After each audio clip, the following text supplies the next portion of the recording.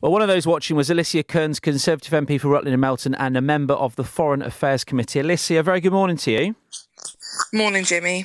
Uh, a very emotional moment watching President Zelensky addressing the Commons yesterday. And yet, as I say, you were watching. What impact did that speech have on you, and what difference do you think it could make? I think it just continued to strike into all of our hearts the enormous courage um, that Zelensky has shown, the enormous courage of all the people in Ukraine who have gone from being people like you and me, going about their normal day jobs, suddenly having to defend their country, standing up, taking weapons, um, living in bunkers. It's it's it's heartbreaking, and it was a really difficult day yesterday. Now, the Kremlin is trying to mitigate the effects of Western sanctions. Trading on the Moscow Stock Exchange will be partially suspended on Wednesday. People with foreign current bank, uh, currency bank accounts now face a limit on how much money they can withdraw. Being on the Foreign Affairs Committee as you are and closer to what's going on, what effect are the sanctions actually having on President Putin and Russia, and how will ordinary Russian people feel the effects of sanctions, do you think? So, it, for the last kind of decade, Putin has told the Russian people that he's created this fortress around Russia, that he's protected them, financially the West wouldn't be able to hurt them financially. But what the average Russian has seen over the last two weeks is that, for example, trying to get to work using their underground, they now can't use Apple Pay. Uh, they won't be able to buy Coca Cola anymore. Uh, that their bank accounts, they can't take out the money they want. They can't book the travel they want. That their money isn't worth what it used to be. Um, and essentially, we've actually seen a leak from the Russian Secret Service that suggests that the entire Russian economy will have collapsed by June. And obviously, that is exactly our intent. Our intent is to make this cost for Putin at home so that the Russian people tell him to stop, so the oligarchs tell him to stop. But also, we're trying to stop him being able to finance and fund this war. And so we know that the sanctions are having an impact. And what do we know about how the Russian army are dealing with the situation at the moment? I hear, like, for instance, their 40 mile convoy, they've had tanks that have been stuck mm-hmm. in mud or they've been running out of ammunition. What can you actually tell us of the reality?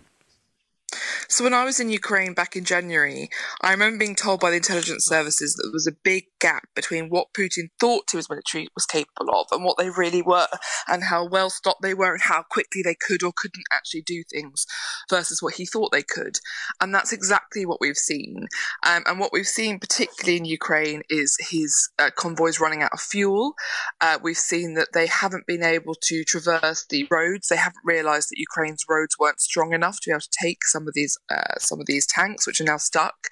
He hasn't thought about the weather. The weather is about to get a lot, lot worse, and essentially he won't be able to get the fuel and supplies that he needs to uh, to his tanks and everything else. He also thought this was going to be a three day operation take Ukraine because he had misjudged the capability of his own uh, military, and that is everything that we're seeing played out now. Now, the US has rejected an offer by Poland to send all of its MiG 29 fighter jets to Ukraine via an American airbase in Germany. Uh, a Pentagon spokesperson says such a prospect raises serious concerns for NATO. So, what's your take on that, Alicia? Look, we're, we're, we're having a really difficult time where we have to recognise that Putin is a nuclear power and he has a lot of nuclear warheads and we have to act on the basis that he is willing to use them. Um, NATO has decided that it is not willing to put in place a no fly zone, um, and it is fantastic that Poland has offered these aircraft. It is exactly what uh, the Ukrainians need. We need to be giving them every possible air power we can to protect themselves from the skies and protect themselves from the Russian Air Force. Um, so this shows that clearly there must be intelligence uh, that the US have seen that they are very worried about the potential escalations um, that we will see from Putin if particular types of support are provided to the Ukrainians by Western members of NATO. There's huge efforts, as I'm sure you're aware, of people in Leicestershire who are trying to do their bit to help people fleeing Ukraine. I just want you to have a little listen, Alicia, to Clive Langley from Leicestershire, who we spoke to yesterday on the show. Well, me and uh, our happy band of uh, travellers, we we flew out to Prague, picked up some vans there.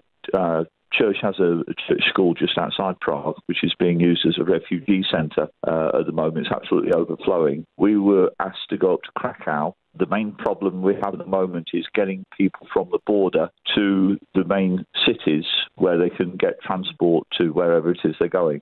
But the problem is there's only so many places on, on the trains, on, on the buses, so people are getting stuck where they are. And so what we've got is five minibuses, and we're basically saying to people, okay, tell us where you need to go, and we'll try and get you there. What do you make of people like Clive and the efforts that people living in Leicestershire are trying to do their bit, Alicia? I think that's an incredibly heroic thing to do. And what's important there is that Clive knows the people on the ground and he knows a specific ask and a specific request of support that's needed.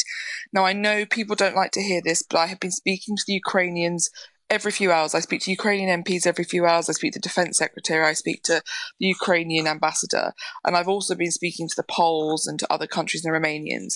They have all said, please stop sending these really kind and well meaning gifts of clothes and food and medicine because they cannot trust that when convoys arrive that they haven't been tainted by the Russians.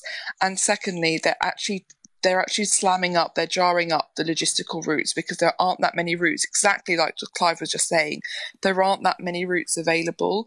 Um, so we're please asking, please donate through the ICRC, through the Red Cross, through uh, through the DEC appeal, or if you have a very specific opportunity like Clive where you know you can help, please do that.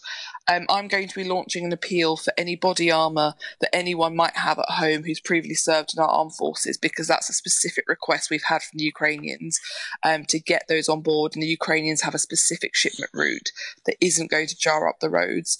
Um, so I'll be launching that appeal uh, in the next few days for anyone who has that sort of protective gear that we can get out to civilians. Alicia, that was very interesting and very insightful. So thank you for that update on that. And um, I must say, though, the government has been coming under fire, hasn't it, for its perceived lack of support for refugees? Doing a bit, but some people say not enough. So, what would you say to that? It's not enough, and we have to go further. And I've been very clear with the government that I'm uh, that we should be absolutely going beyond this. Um, the people fleeing Ukraine are mainly women and their children who, on an hourly basis, do not know if their loved ones are going to survive, if their partners are going to make it through the week fighting against a Russian aggressor. We have to do everything we can to support refugees and to get them out. And that is exactly what I've been fighting to do. Alicia, thank you so much for your time. I'll let you. I'll let you carry on with your day ahead. I know you have a busy day. Uh, that's Alicia Kearns, Conservative MP for Rutland and Melton, and a member of the Foreign Affairs Committee. Jimmy Carpenter at breakfast. BBC Radio Leicester.